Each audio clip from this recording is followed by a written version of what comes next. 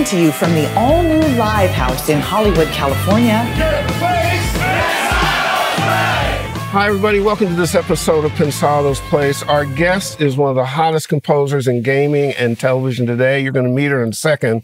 But first, we always want you to sign up for our newsletter, click like and subscribe, hit us up on all of our social media so we can converse back with you. Um, with credits like Call of Duty, Assassin's Creed, Chef's Table on Netflix, NASA's Cassini project, and on and on and on. Sarah Schachner is on fire. Uh, we are thrilled that she even knows who we are, and we're even more thrilled to have her here. Welcome. Thank you so much. I'm Good. really excited What's to be that? here. Good, to see good, good. Um, it, it, we've had some folks on from film and television before because we see audio as this big inclusive thing. Um, what's fascinating about you, for me in particular, is I'm a first person shooter guy. So Call of Duty, I've played all of them and so on and so forth. And I was so familiar with the work that you had done on Call of Duty. One of the signatures that's so interesting about what you do is there seems to be Sarah's personality in what you do. Is that is that a plan? Is that something that they give you leeway to do? Because there's an emotional kind of scope and scale in the music that you make. Thank you. I'm glad to hear that. That's definitely a goal for me to to put myself into what I'm doing, not just satisfy what the game needs, but also put myself into it. And um, yeah, the game projects have they, they give me a lot of freedom to do that. So that's, That's amazing. One of the reasons why I love working on them. hmm Because uh, um, I was telling the team, if you go through the end, I go to lots of movies, Mhm. and if you go through the end credits of a game, it's about 45 minutes. Oh my God, so many going- people. And it's unbelievable the amount of people. Yeah. So the idea that they would allow you leeway to do what you need to do with such, and it's so compartmentalized. There's ambient music and combat and Mm-hmm. Chapters and storyline and all kinds of stuff, right? Yeah. And you have to be unique inside all of that and find the elements. Is that Definitely, yeah.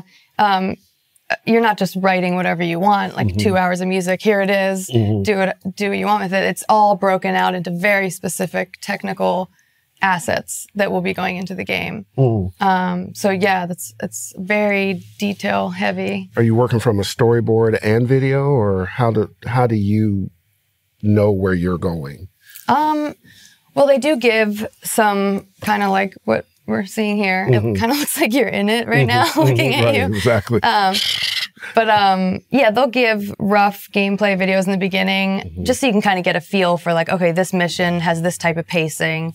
Um, but you're not scoring sync points like you would in a film, and you're not really scoring under dialog So as long as you know what the goal is that you're achieving with the music, what the different energy levels you're going to need to cover, you have a lot of freedom of how you execute that and how you do that. Do you do do you do multiple pieces of music for for the same scene? And like a movie, you would have one one score for the, for a particular moment, Mm-hmm. but in a, in a in a game, you have to have multiple pieces for the same scene, right? Right. Uh, uh, how many usually? Um, it's not as much that I'm writing a bunch of different pieces for one scene. It's that it's a different approach to writing. You have to, it's thinking of it a little more modular. Like when I'm writing a piece, sometimes I'll have to put extra layers, extra instruments doing something that maybe musically I would not want to be there just for how I would want the music to sound. But um, that way the editors can much more easily take it apart and then create different variations from the original piece that you wrote. Because oftentimes you're creating for situation, not for outcome. Exactly. Yeah. Yeah. Um, because I know as a player, what I do can change Right. It can change at any minute. any any so second. it's like, so yeah, if you're playing and you're starting at a mission, you've crossed a threshold Mm-hmm. where then those enemies are going to start coming at you. In the system, it triggers something that's like, oh, now we need to bring in this second part of the piece Mm-hmm. or this layer that's going to play indefinitely. fascinating. W- Would you say that that a lot of the music that you contribute would be categorized as atmospheric? Um, a lot of it, yeah. Uh, is that something you enjoy? Yeah, because it's it's creating environments, like nuanced emotional environments um, that can kind of subtle, subtly just like permeate the background of what's going on. Um, yeah, I would say that's accurate. Would, would an atmosphere, and that, and that, I don't know anything about games. Would would a piece that's called atmospheric in a in a game would that be the same thing as a pad in a, a regular song, sort so to speak? Um, it could be. I think when I when I think of atmospheric, I would think something that's not aggressive, not in your face, a little more sits in the background, uh, a bed of something ambient.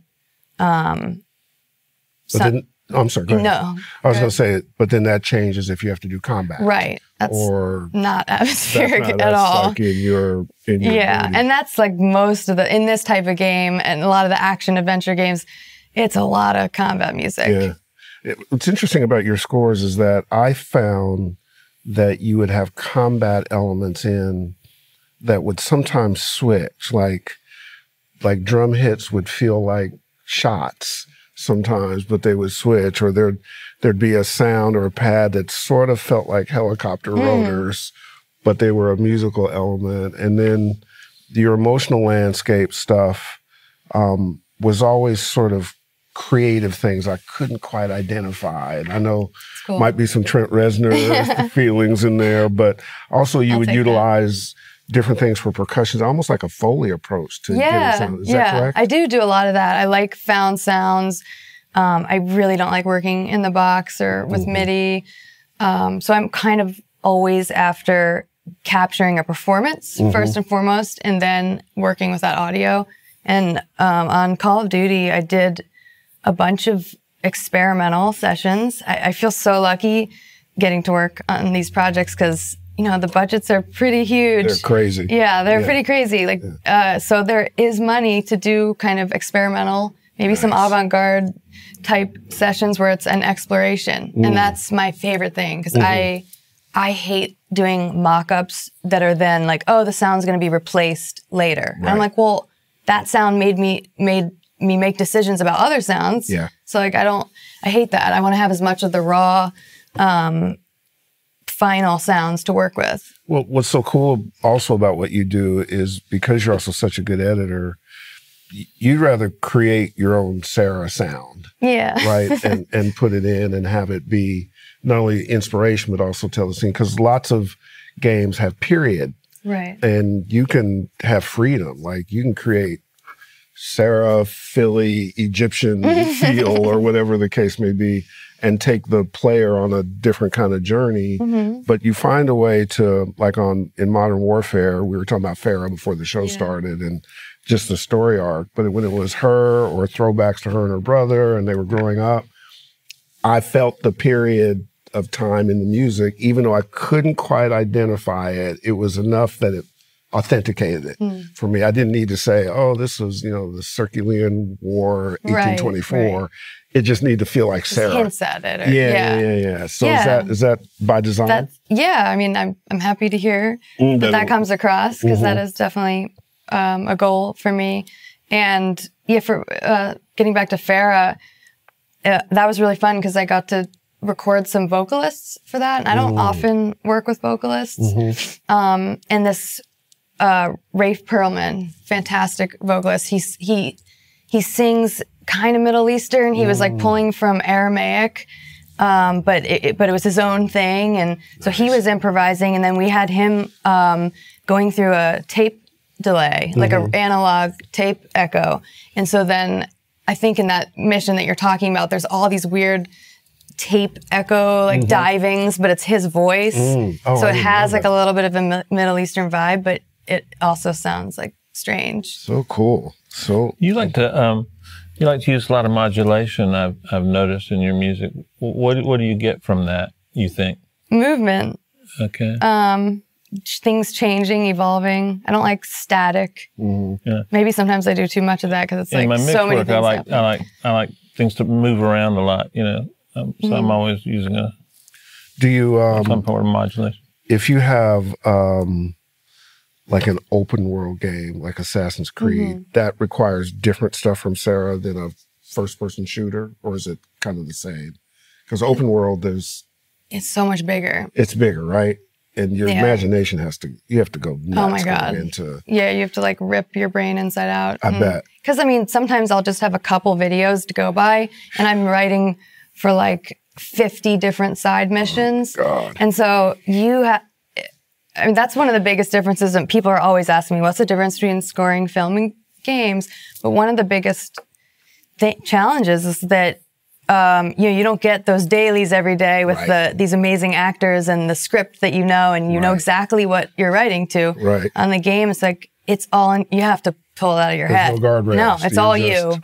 because you already you know when I did research on you, you already seem like a mad scientist inside your lair creating Sarah World, right? That's Insane. that- Yeah. It's like chaos theory. Chaos. Um, but that's where I think the brilliance comes in because obviously, one, it works, and two, there's enough discipline in your method that by the time it gets to the end, it's something that supports the story and and Yeah. and, and furthers the story. Yeah. That's the goal. Yeah, I mean that's always the primary focus. Mhm. Um, I mean, I don't feel like I have to work too hard to make things sound like me. Mm-hmm. Like when I try to sound like other people, it still just sounds like me. So I'm, I'm I glad. guess that's a good thing. that is a good thing. Do you are you ever charged with? Um, well, like let me let me backtrack.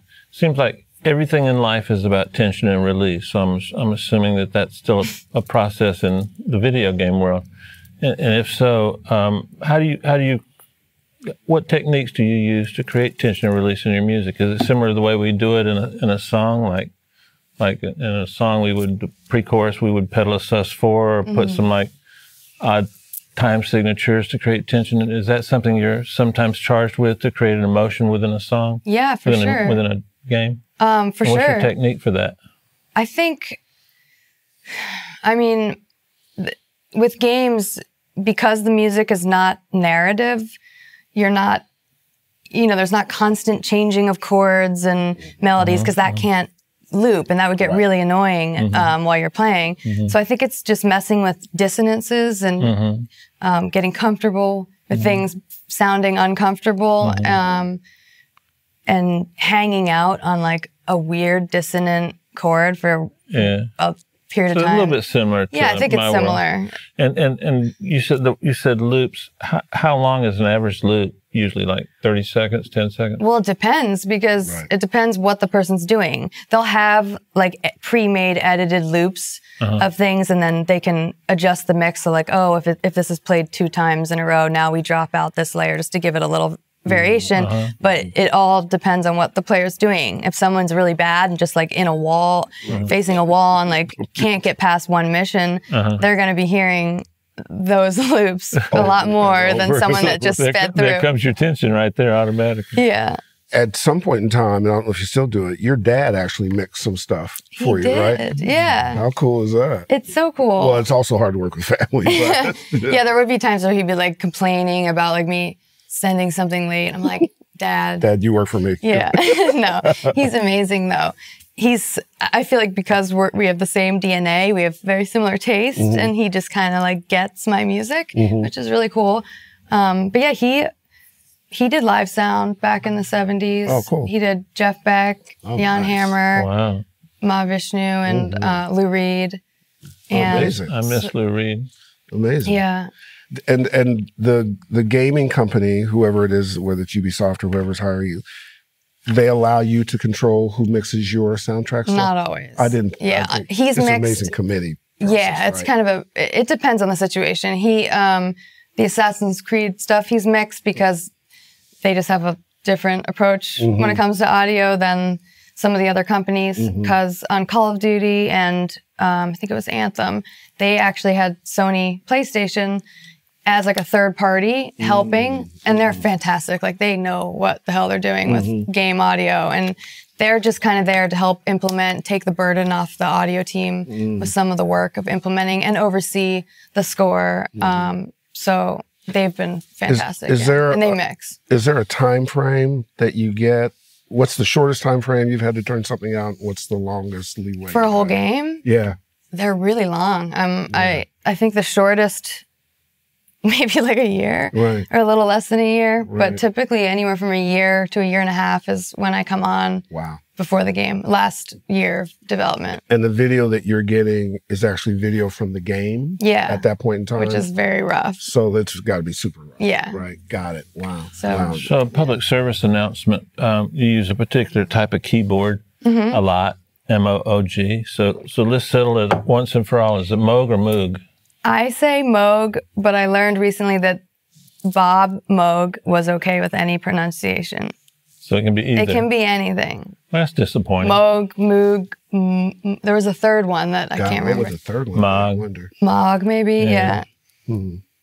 I guess it doesn't matter. I like Moog. I like Moog. Let's go with Moog. It feels. What does Mike Dean say? That's what we should do. Whatever Mike Dean he says. said that's- Moog, and I was I was Well, if Mike Dean surprised. says Moog, it's Moog to me. In the business structure of it, do composers get royalties? with on games. Yeah. Well, it's you know we we retain our writer's share. Okay. but there's no syndication going on. Right. And I know there's a lot going on right now with trying to get a hold of that because, you know, Twitch streamers, Mm-hmm. there, there's people that make a living and millions of people are watching them play these games every day. Yep. And nobody is collecting. Right. It, there's a, like, they should be There's something. the internet is the new TV. Like Mm-hmm. TV is going away anyway. So they need to change their definition of syndication Mm-hmm. at the government level. Also, the game studios are a little weird. Like they don't like Yeah. to register the tracks with the PROs. That's like, crazy. thanks. Hello. Like there's some money I could be collecting here and you're not letting me. you made six hundred million dollars in like the first week. right. Yeah, si- yeah, yeah. absolutely. 600 million. Yeah. So switch gears. If you take something like Chef's Table for Netflix, what changes about doing something for a TV show? Is it just more linear? There's set points that you're working within. Yeah. I see. It's very linear. You know exactly what you're scoring, Gotcha. scene by scene. Um, you'll spot something Mm-hmm. with the director or whatever, and then yeah, it's broken up. Like we need music here to here, here Mm-hmm. to here. It's very clear, like where you're going to put music, Mm-hmm. and you support the dialogue and you support what's going on. So Mm. you can't use all the as many of the weird sounds that I can just throw into a game track and Mm-hmm. like can get away with it. You know. Did we ask you what DAW you're using yet? Have we asked? Um, I use Cubase. oh, wow. Hmm. Oh, is there a reason? I'm Um, sure there is. a lot of composers for visual media use it. It's Uh-huh. pretty popular in that world, not as much with like producing. Mm-hmm. But um, I don't know. I was I was in digital performer for eight years. It was traumatic, and then I, I switched over kind of randomly. A friend of mine had switched and was like, "Yeah, it's working out well." So I'm like, "Okay, I'll do it too." And it was just so intuitive, and my workflow became so much more creative and dynamic, and um, it just worked for me. So And and you're an analog synth lady, correct? yes. And and so between analog synths and strings, from there grows Sarah. Yeah. Is, is sprung from the. Gotcha. Yeah, combining I I mean I'm I'm interested with like ancient manifestations of human creativity and then um, merging that with modern like cutting edge Mm-hmm. technology. Oh, I love it. Please So- don't ever change. What, what- what- I- I'm a guitar player, and I, I don't understand this fascination with modular synthesizers. Why modular synthesizers? Why are they so popular again? I thought we got rid of them in the 80s. Well, they there's so much more variety now with all the Eurorack stuff. Mm-hmm. For me, I think I just you know I'm a musician. I play I play piano, strings, mm-hmm. guitar, like anything with strings my whole life, and so the way I write music channels through how I play instruments. Mm-hmm. But in, instead of doing this, you just did this. No, it's different. No, it's different because it's pretty much the least musical thing. So trying to make music on the least musical machine is like Yeah. an interesting challenge. I mean, yeah. I've also gotten better at learn understanding signal flow. I didn't know anything I before. walked up to one and never made a sound. I mean, that's how. You couldn't make a sound. No, no. I, I, I see all those holes, uh, knobs. It's a steep learning curve. Yeah, I know. a I'm little still bit. learning. I know a little bit, but But I think uh, it's, it's, it's, they just look so cool when you're doing it. You look like a, a scientist in the lab or something. They do look cool, but I, I think it's more about you can get very unexpected results on it. You mm-hmm. can surprise yourself. Like mm-hmm. I get sick of the same old chords and notes and things I play, like the same stuff that's in my mm-hmm. head. So it kind of allows me to approach music from a purely sh- uh, sonic mm-hmm. approach of just mm-hmm. shaping sound mm-hmm. and being surprised by what's coming out. Is- And Would you say fun. that, that there's a, a, let's use the term better, you can get a better sound from a modular than you could from a regular mm, I flat wouldn't- one? I don't think it's about better or worse. It's just a different. Yeah, it's a different type of sound you might be after. And I, I think we've had various creators here. We talked about this before the show as well. Sometimes that accident is where it is. Exactly. And you need something that helps you get to the accident. Exactly. Correct. That's totally it. And sometimes I'll just like get a patch going um, and have something in it that's causing evolving things over time. And then I'll kind of like step back, record it for half an hour. Um, and then go back into the audio and be like, oh, that little thing was so cool. Yeah. Um, I actually did one of the main themes from Anthem, the modular wrote. Like I didn't write it. Mm. It was like this not 20 minutes of nonstop 16th notes that, that is a sequence that was going. Mm-hmm. Um, and it was like a four minute shifting uh, oscillator, I think. Mm-hmm. It was- So I was like scanning through formants mm-hmm. while it was going through these notes. And then there was this seven notes out of like 5,000 notes. I just like heard them and was like, that's, I'm going to save that melody. And then now like I have orchestras playing it behind it. And it, it, it's just a different way to, to come up with stuff Yeah, that's cool. Well, it might be, that might be the future actually. with AI. Yeah. we often talk about um, how important networking is and also pushing the envelope. So you actually worked on a NASA project, right? The Cassini project. How did Yeah. that come about? Tell us about it. Oh my God, that was like the best thing ever. Um, the uh, the art director at JPL reached out to me out of the blue, and he just asked if I would want to be a part of this little project Wow. commemorating the mission because it was coming to an end Right. that year. It had been circling Saturn for 20 years and Right. collecting data and sending it back to us and showing us what was on this amazing planet. And Mm-hmm. um, to get to write a song that was whatever I want to just say goodbye to this thing, Mm, it was it was special. Yeah. I bet. And yeah, there were two other artists be that did it. emotional, I would think. It was, yeah. Mm. Yeah, we actually got to go to the the final descent when Oh, wow. she was gonna burn up. Um, we got to go to JPL. It was at like four in the morning. Because she burned up in the atmosphere. Yeah, Correct. Right. because after circling for twenty years, Right. it came. Why, why are you guys to- calling a satellite a she? Oh, I just thought it was a she. Oh, no, it's clearly a male. No, it's it's female. we, Okay. we have HR issues. so, um, um, but speaking of networking, even the way you got into, because, you know, we talked about this as well. I think sometimes social media fools people into feeling like they're connected when they're really Yeah. disconnected. They're Absolutely. in touch, but they're not connected. You got into gaming through somebody you met and gave you a shot, correct? Yeah. Is that, how, how'd that happen? Yeah, I had um so when I first moved out to LA, I had um I mean I didn't have anything or any Mm-hmm. Like all of us. Right. I just went on Craigslist drunk and sending drunk work emails at like three in the morning and something worked out. Um so yeah, I was doing additional music and um ghostwriting, Mm-hmm. that type of thing, helping other composers for like six years, pretty long time. Mm-hmm. And then there was an opportunity. Uh, Assassin's Creed was looking for their next composer, and the composer I had worked on the previous one under that composer, and he wasn't trying to get it, so there was no like competition issue. Um, and I was able to submit a reel and you know give it a shot. And Was that when the blind test was? So they, they didn't know who it was. They Yeah. just picked the music.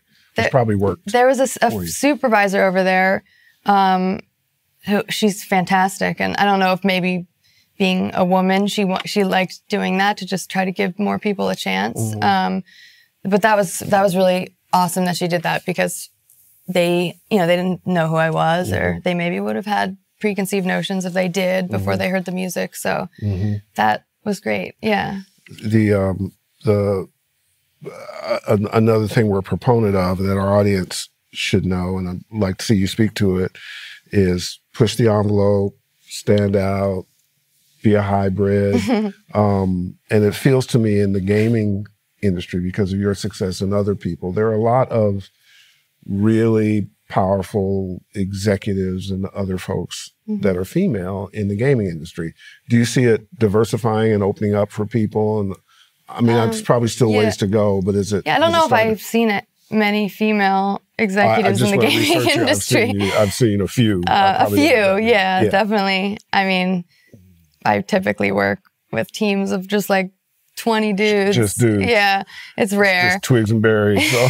yeah, um, but is it growing? I think that- it's growing. Yeah, I mean, I think it's a conversation now, and Mm-hmm. peop- just getting people talking about it more is going to help. And But if you're going to try to get a career, be it male or female, gaming has an opportunity for people who are musical. Mm-hmm. I think they're more audio. welcoming. I would say, Mm. yeah. What's the future hold? Pop music stuff? Yeah, for bit, sure. yeah. Um, I want to do. I want to put music out just as me, Mm-hmm. um, and I want to collaborate with people more. That's We actually have one of your collaborators here. Should we bring him up? we do. All right. So joining us at the table, a guy you all know well, a good friend of the show, and a collaborator of Sarah Schachner, the one, the only Mike Dean. What up, dude? That's it, but So how did this unholy alliance come together? Uh, was it Modern Warfare? Was that the? yeah. Tell, tell us about it. Um, so the multiplayer part of the game is done at the pretty much at the very end. It's like a scramble at the end after single player. So and, single player first, then Yeah. multiplayer after that. Yeah. Gotcha. and um, the idea of maybe doing a collab had been thrown around. I- Call of Duty has done that before, where like a big artist does a track for a menu or something. So we talked about that a little bit, and then I wanted to use it as an opportunity to collab with somebody that I wanted to work with, There you go. and Moog. The lovely Moog, Moog, Moog, Um, Mog. Yeah, Yeah. they they texted him and were like, kind of tested the waters to see if he was interested. What made you interested? Um, seeing her video on the matriarch synthesizer. Mm. So it's pretty. She was a badass. Yeah. Because it, it takes that in order to get you involved. You're not just Oh, going definitely. anywhere. You're Yeah. very you're very specific. How did it? It obviously worked out. What was the magic? Because you guys started to do one thing and did like four or something, right? Yeah, You it turned more. into more.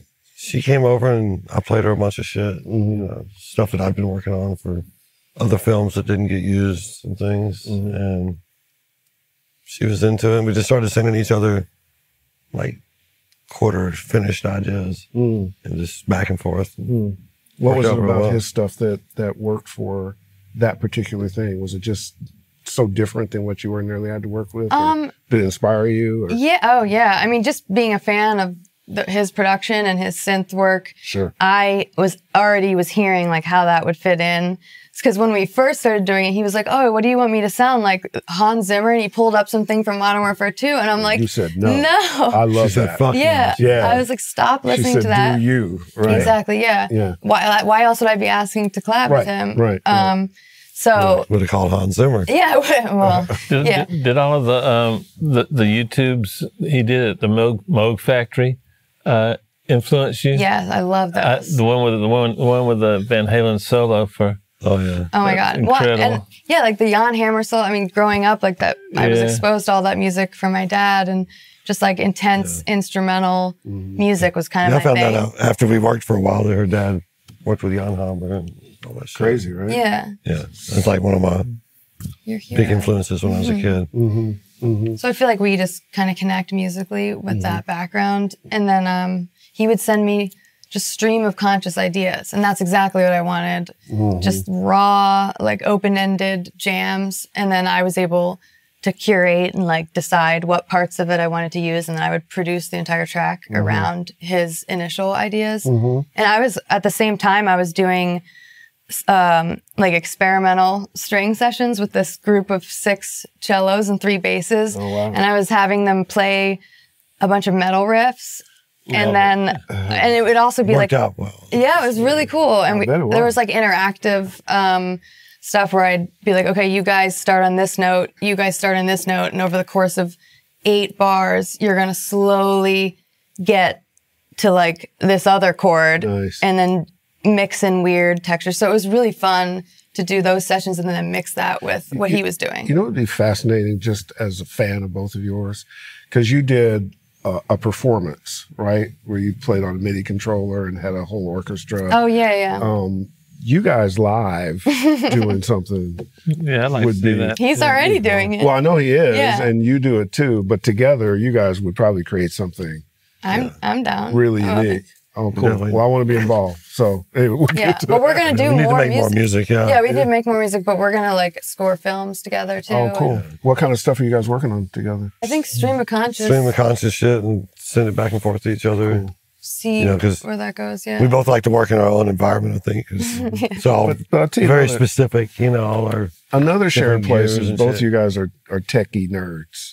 Like you must love gear and getting together and and working on stuff. Like, is They- that a they- shared they, love? dream about their modulars. That's what they do. he, Oh, he, look did- at my he only has the big format modular. Yeah, I don't have Euro rack stuff. Mm. Well, I've got a bunch of the Behringer stuff, which is really Like, I'm gonna, I Kinda leave the rack. 808s to him. He, he takes care I of that yeah, side. the low end. right below it is. Do you use Not really. plugins a lot? I do. Yeah.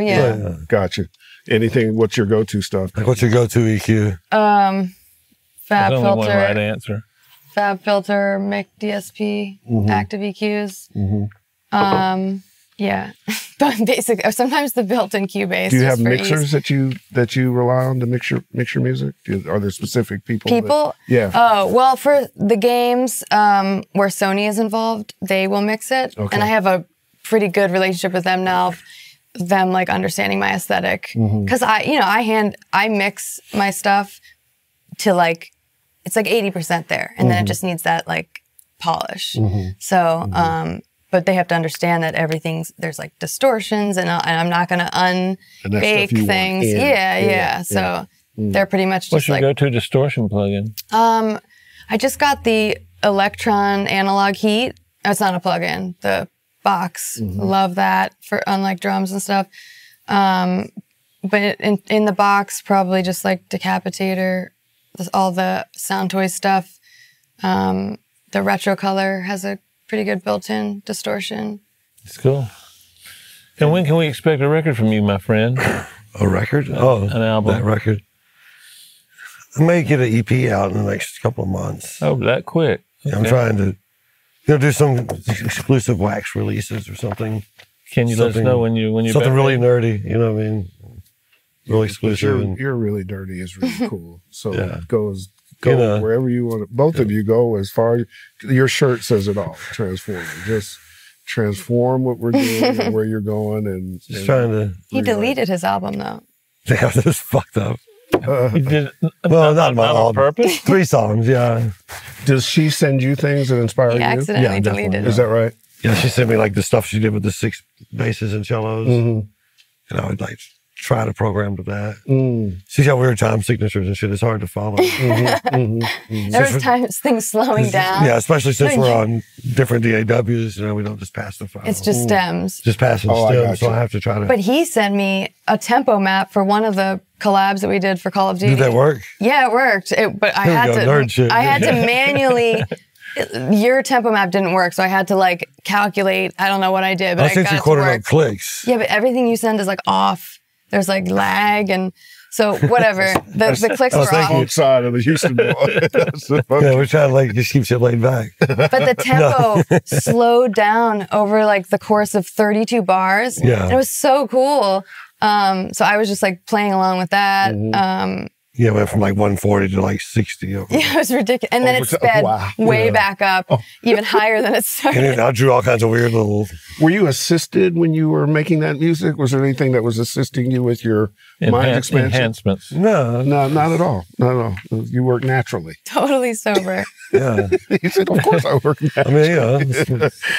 Uh, there's smoke a joint. You know. Mike Dean is famous on our show for a number of things, which which will tell you. I don't smoke blunts anymore. I, Ah, I quit smoking tobacco. gotcha. That seems to be a trend. I see a lot of people going that way. Yeah. It's unhealthy. Trying to live longer. Get- yeah, You know what I mean? it's a good thing. Enjoy my sense longer, in my family. So you didn't work this hard to get here to then have an end, right? Exactly. Yeah.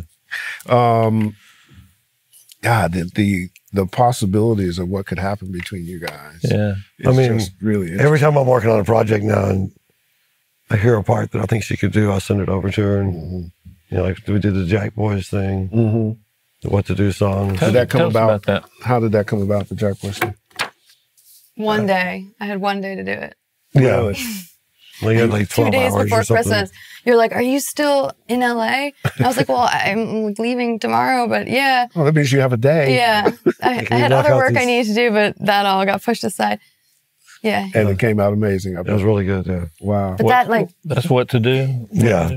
the echo stuff he put on the string, the outro, he made it all trippy with like this Yeah. tape echo thing that was She kept all speeding the delay times up and down. So, whoa. Yeah, that Oh, was my favorite cool. part. That's a great idea.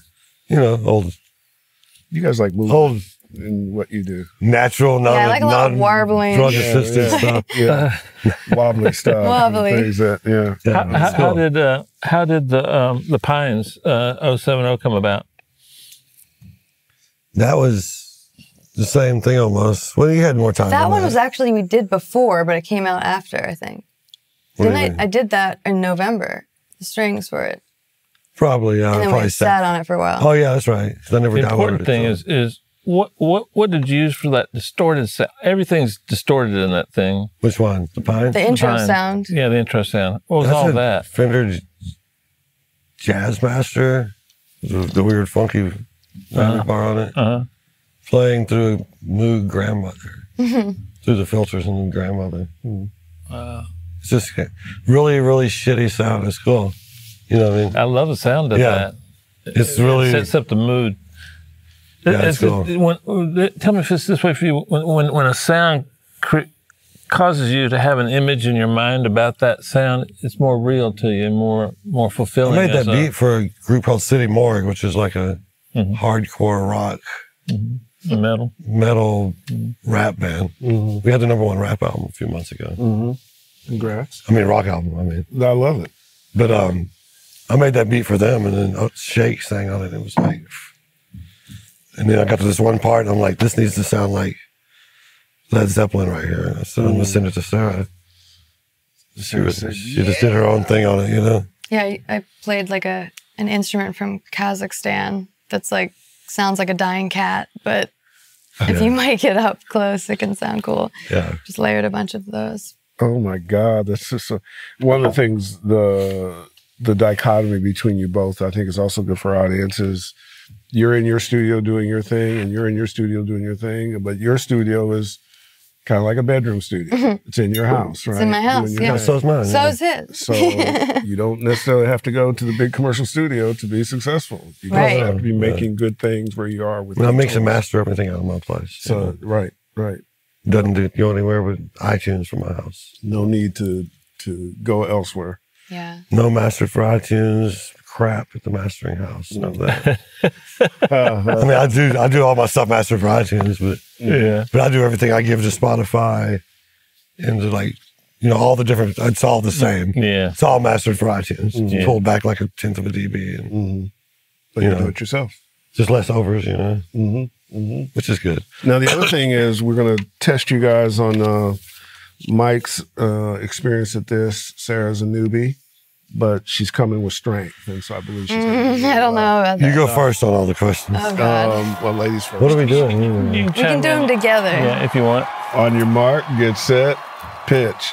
Key, song key. E flat. Mm. What? about you? I don't know. E flat. C flat. C minor. Okay. Yeah, that's wrong. Um, I'm teasing you. That's wrong. I'm teasing I you. actually like D flat better than E flat. E flat is Take all that right. I'll take that. I'll take that. Sample packs, Yeah. nah. virtual synths. Yeah. Yeah, Serum. I use them. I use them. You'd be amazed at some of the shit that's virtual synths on my stuff. I probably wouldn't. I'd You probably believe know. it. Cellos, Love. Inspiration, Where the hell is it when I need it? sample strings, as opposed to live strings. Only as like a layer underneath live strings. Yeah, Trent Reznor, badass. Good for him. What? He's doing well. Good for him. That's a great He's had an okay career. I kind of thought maybe he was somebody you liked. I do, I do. with. Um, But we're gonna take this shit over. but move over, Trent, because we're coming. roll over kidding. There you go. That's the right. He's amazing. okay, tempo. Hundred. 140. Damn. Okay, this is for both of you. The cheapest piece of gear you used on a on an important record or a record that came out, or or in your case, Cheapest piece of gear. Probably the. I think I showed you that ten dollar sampler app on iPad. Oh, that's really cool. Love that thing. ten bucks Wow. you, can you give us a name? of the. It's called Samplr. sampler. Sample. S A M P L R. Yeah, it's really cool. Ten dollars. The multi-touch sampler you can. Yeah, it's all tactile. Oh, you really? play everything. It has a I'm gonna- lot I'm of gonna different get, I'm features. gonna get that. I, so fun. I love distortion on everything. And how about you, Mike? What was yours? What's the question? Cheapest again? piece of gear you ever Oh. used on something? Um, probably a Behringer, like small stone clone. Oh, okay. I don't use that on my Fender Rhodes all the time. This is just for you, Mike Dean, Endlessly inspiring. Sarah Schachner. Cello. no. I was just, I, the cello was still echoing. Cello. And I was like, where are we going? No, Cello. I mean, He only thinks of me as a means to provide string. That's no, it. no, You're the string sister. no, so limiting, Mike. Damn. no, I'm like just crazy. Like, Crazy. yeah. Have you ever, have you ever No, her music That's is like accurate. crazy. That's Her music accurate. is like crazy. It's like Yeah. really cool. Before we go, one of the things I wanted to ask you was the difference between you creating your own string and orchestral stuff Mm-hmm. and then utilizing a live orchestra. Is it just the power of a live orchestra that makes it? Because they're very different, right? Yeah, they're very different. I mean, a lot of times if I am using a live orchestra, I still put my stems in there of me playing because it's a texture that I like. Um, but yeah, it is. It's a power thing. Like me recording myself on the same mic, same instrument, same person, same room over and over Right. is not going to sound the same as One a of the group. Right. one, one of the biggest thing is that uh, the synth strings don't leave after three hours. They don't smoke, No, But they can't do any cool textures. but they are. But you know, I use a lot of fake strings. Even whenever I hire people to play on top of them, but In the pop scent- music, it's, Yeah, it's more of a it- place for that. For sure. because it's really hard to record real strings and make them sound as good as Yeah. what some of those libraries sound like. Right. Like the You know, but it has a, a more of a a fake in your face sound. I don't know how you describe it. I think it fits into the mix better for Yeah. pop.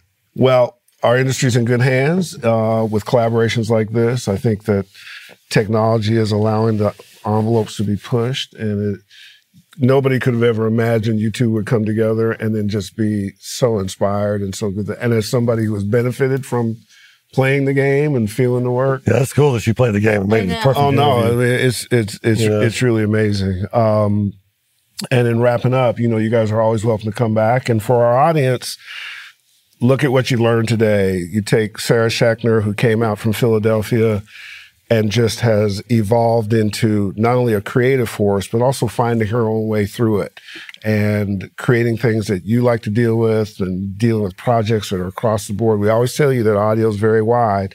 You can attract collaborators like Mike Dean to genius like Sarah Schachner.